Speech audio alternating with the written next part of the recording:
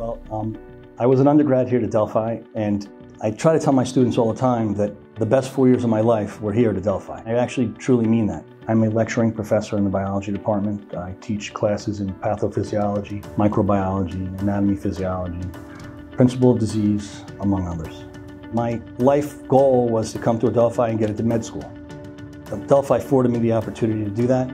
So I came to Adelphi, I graduated with a biology degree, I went on to medical school, and uh, I always wanted to kind of come back and give back to the university, and this is how I'm fulfilling that dream. The General Studies Learning Community here at Adelphi University. It's a gateway program for freshmen to enter into the university who ordinarily might not have gotten in, usually because of low SAT scores.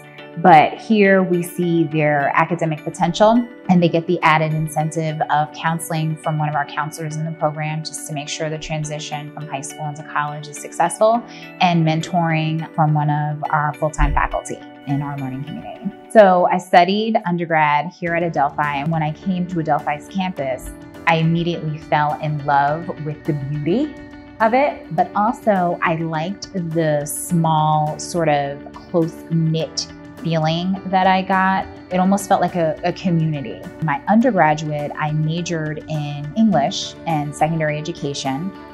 Had no idea what I wanted to do. I originally wanted to be pre med, but because of the close knit community feeling, I met a professor who's now turned into an amazing mentor, Diana Feige, who thought I'd be a wonderful educator. I, what I find great about Adelphi is it's in between a large university and a small university where you know your faculty, you know your professors, your professors know you on a first name basis. So I think with large universities, you kind of get lost. I've had experience working in large universities, and I feel there a lot of students don't have the interaction that you have here at Adelphi. And I think that's probably one of the key things with Adelphi. My favorite thing about working at Adelphi is the collegiality aspect sort of similar to the student experience at larger universities, like you might be known as a student ID or a social security number. But here at Adelphi, we know your name, um, we know what you want to major in, and likewise for the collegiality piece.